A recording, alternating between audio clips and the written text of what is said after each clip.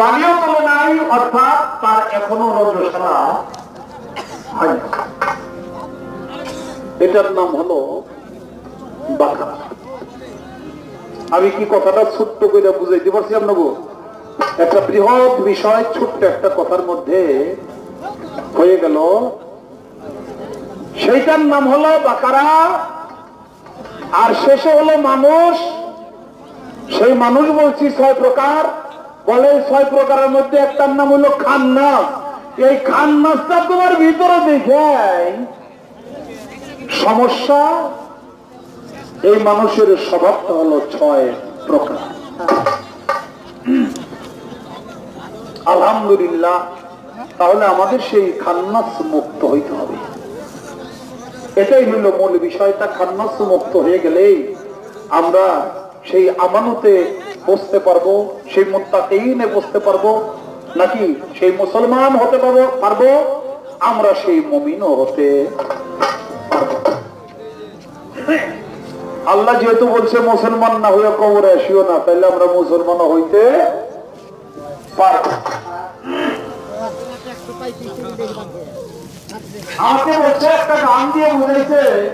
পরিমাণে কাম ছাড়ে না মতনে প্রেম রসিদ হবে কেমনে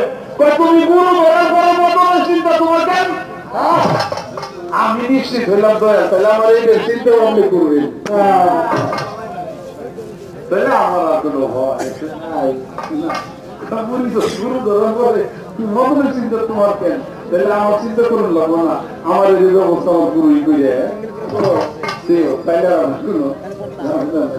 কিন্তু গানের মধ্যে মানুষ হওয়া কি অত সহজ ব্যাপার? হ্যাঁ? সেই গানের মধ্যে অখিল মনসির গানটি, সেই গানটার মধ্যে বলা হয়েছে, কাম ক্রোধ লোভ আবি হিংসা, নিন্দা, ভয় ইত্যাদি। এইসব ছাড়তে পারো যদি মনরে আমার।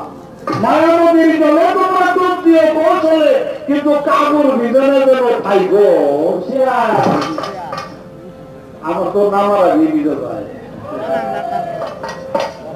আমি তো মায়া নদীর জলে নামতে গেলে নাই না মানুষের কাবুল বুঝে আমি নামার আগেই যে ভিজে আমার উপায়টা কি হবে? বাজা কর্মবলের মন্ত্র লেখা কর্মবলের কালাটা তুমি ছেড়ে দাও তাহলে তোমার গুরুকে দেওয়া হইল। আর যে পর্যন্ত মতন তোমার আছে, তাহলে তোমার দেওয়ার কিছু বাকি আছে। তোমার ষোলোটা দেওয়া নাই বাগান একটা কথা কই। হঠাৎ করে মনে হয়েছে কি, কোন এক বাবা মৃত্যুর সত্তায় স্বামী স্ত্রী খুব একটা সুখের সম্পর্ক ছিল না কোন একটা হয়ে গেছে।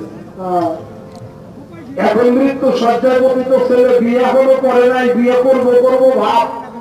মাত্র জোয়ান হয়েছে বয়স হয়েছে এখন এই মৃত্যু সজ্জায় গুলারে ডাক দিয়ে বাবাই বাবা বিয়ে করে যন্ত্রণা আর আমি এই যন্ত্রণায় শেষ হয়ে গেলাম বাবা। তোরে আমার বিদায় কালে একটা কাছ করে একটা করে যায় বাবা, তুই কিন্তু বিয়ে করিস নে। বিয়ে করা যেই যেই শাস্তি বিদায় গেলাম বাবা, তুই কিন্তু বিয়ে করিস তুই আমার কথা দে। ফুলায় বাবের হাত ধরে কয়, বাবা, তুমিও দোয়া করো। আমিও যেন আমার ফুলারে এই অবস্থা মরার সময় দোয়া করে দিতে পারি।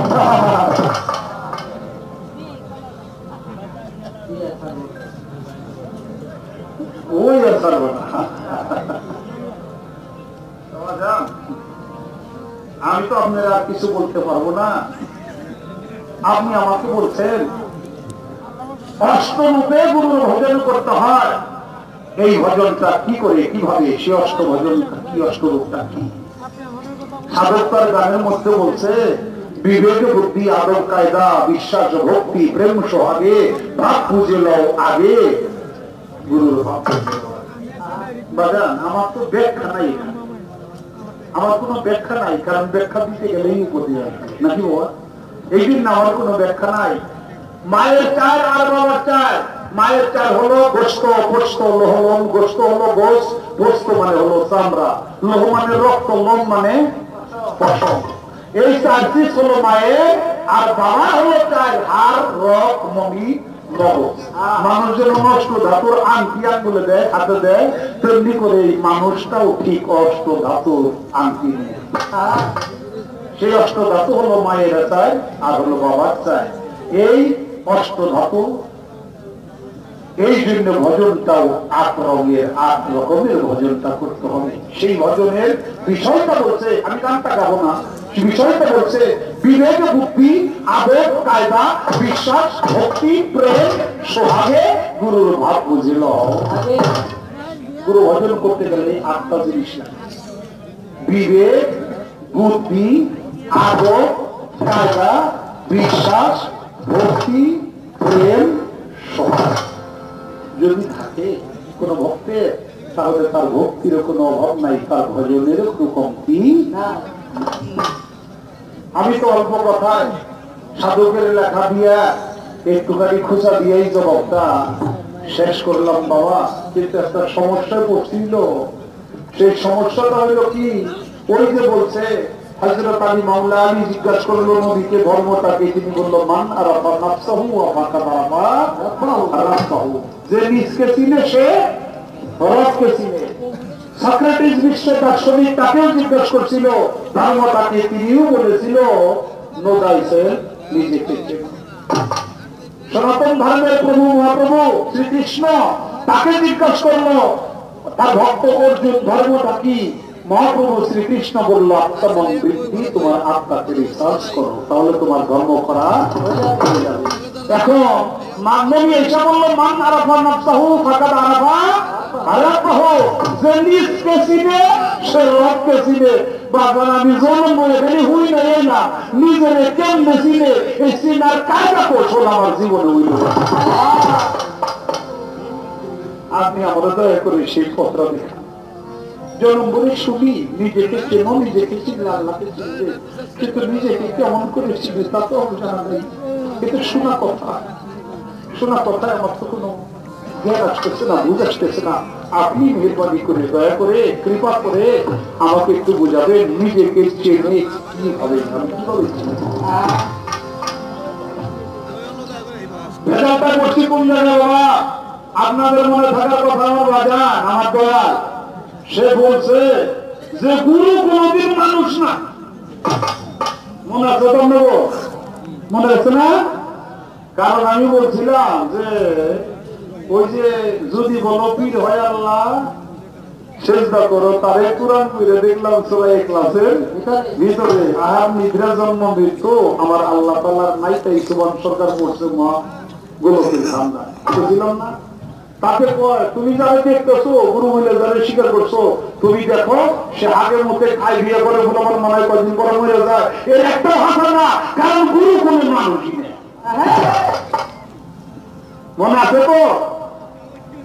তা আমি তো এখন আমার বিপদ করে গেছি কি বিপদ বললাম এই বিপদ রইল, আমার দয়াল এখন আমার গান করতেছে, মানুষ খুইয়া ভজ, এই মন্ত্র না কে দিয়া? মানুষ ভজ, কোরআন খোঁজ, এটা পাতায় পাতায় সাক্ষী আছে। তাহলে কইলেন, গুরু কোন মানুষই না আমাদের হনকন মায় হনকন মানুষ আর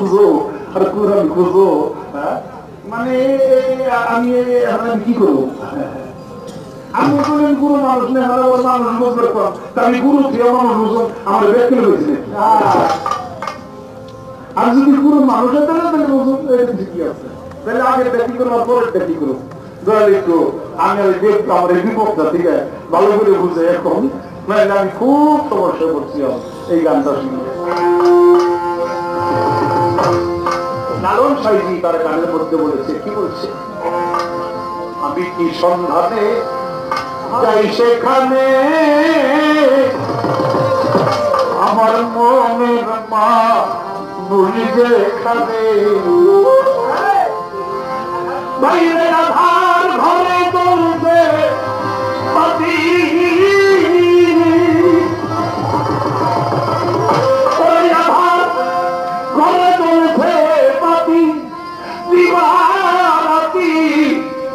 সেখানে মনের মা নুষ দেখাবে।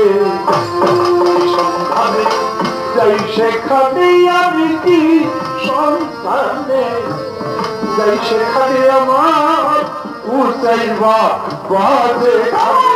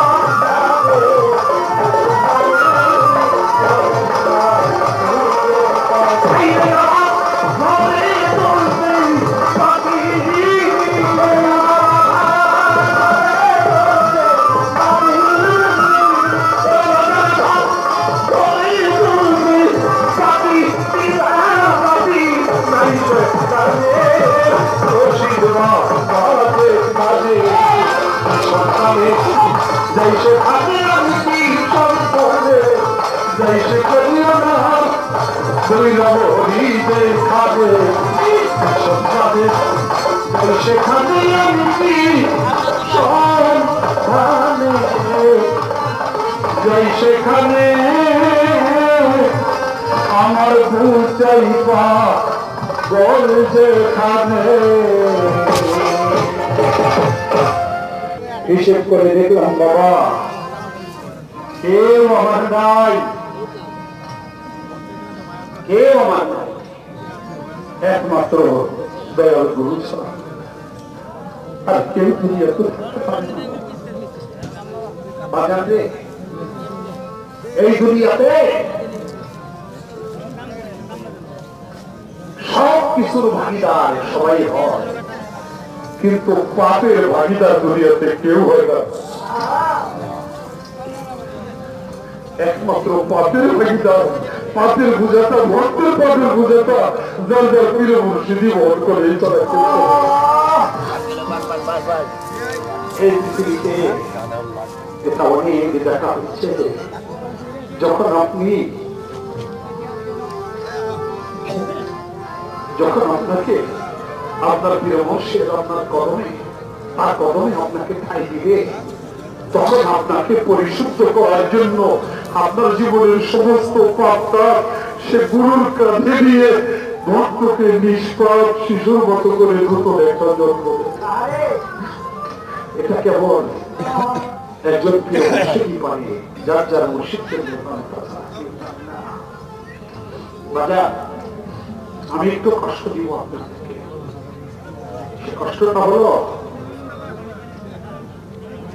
কোন এক মা বাবার একই সন্তান হঠাৎ করে রাতের অন্ধকারে চলছে যে একটা সাপের সবল মারছে ছটফট করতে করতে যতই দাবাইতেছে পূজা কবিরাজ যতই আসছে, কোনো কাজ হয় না বাবা, কাল সাপে যাবে কামড় বাঁধে কাল সাপের বিষ দুনিয়ার কোনো জগৎ নাই যে তাই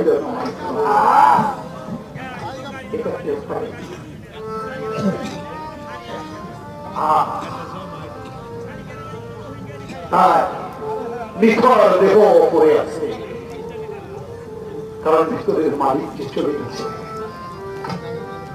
বাবা মা, আত্মীয় স্বজন, স্ত্রী, পুত্র, সবাই যেমন কান্নাকাটি করছে যার মাত্র একটাই বুকের মালিক দুনিয়া চলে যায় সে ভগবতী তার ধৈর্য কোলা দেশ বাপ মানে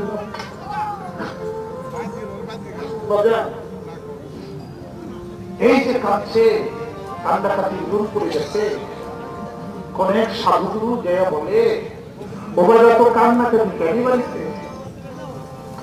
যে, কান্নাকাটি এই যে একটাই মাত্র বুকের মালিক ছিল সাপের সে বলে মারা গেছে। তাই কান্নাকাটি দূর করে গেছে হাত হাত করে গেছে। সে বলে সাপের এটা মারছে তো? কহ আমার কাছে একটা ব্যবস্থা আছে অনুমান আছে। একটা পরামর্শ তোমাদেরকে দিব। যদি তোমরা তা করতে পারো তাহলে তোমার এই মরা ছেলেটা আবার নতুন করে হবে। সবাই কবি আছে ওই সাধুরে সবাই সবাই আন্দোলন করে পাবে। কি করে কি করলে হবে? একবার বলেন একবার বলেন। কয়েক নিকট আত্মীয় যারা, তাদেরকে আমার কথাটা করতে হবে কাজটা করতে হবে। কি? দাফন করবেন, মাটি মন্দির করবেন সব মরে গেছে। দাফন তো করতেই। কয়, কবরে রাখবে। কবরে রাখার পরে কয়, অন্ধকার কবরে একটা রাত্রি মরার সাথে কেউ থাকবে। যদি একটা রাত্রি মরার সাথে এই কবরের মধ্যে যাপন করতে পারেন, থাকতে পারেন, তাহলে দেখবেন সকালবেলা আপনার ছেলেটা চিন্তা হয়ে গেছে। পারবেন? মার কাছে যা। মাই কয়, বাবা আমার এই বুড়া বয়সে আমার ভিতরে কোনো সাহস আছে? আমার তো কোনো সাহস নাই, শক্তি নাই। আমি অন্ধকার কবরের মধ্যে কেমনে থাকব? দিনের ঘরেই তো থাকতে পারি না। বাবার কাছে বলে, বাবা বলে আমি কি করে থাকব? ওর মাও যেখানে পারে না, ওখানে গিয়ে আমি থাকতে পারি। থাকতে পারব না। বন্ধু বান্ধব কেউ তো রাজি হয় না। অবশেষ তার স্ত্রীর কাছে যায়।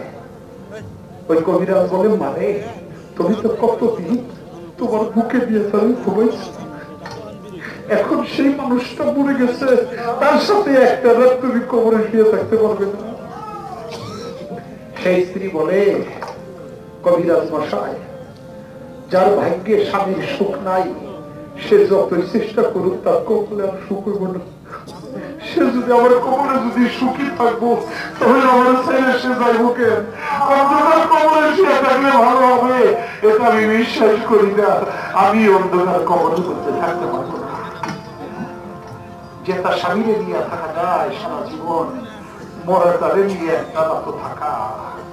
যায় না, সবাই হতবা, কেউ রাজি না, কেউ থাকে না।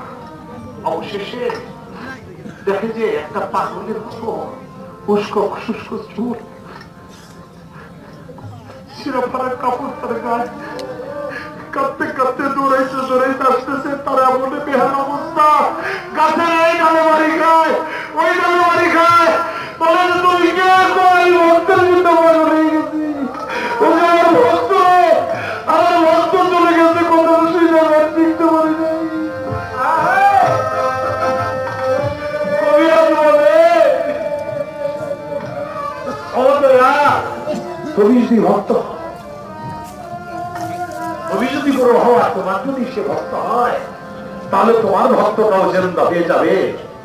তুমি একটা কাজ যদি করো, করতে পারো, তাহলে কি করব?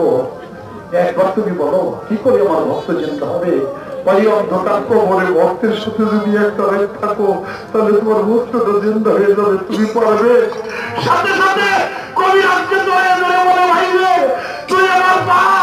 তুই আমার কেন দিলে আমার ভক্ত যদি যেতে হয়, আমি ভক্তের মুখে আমি।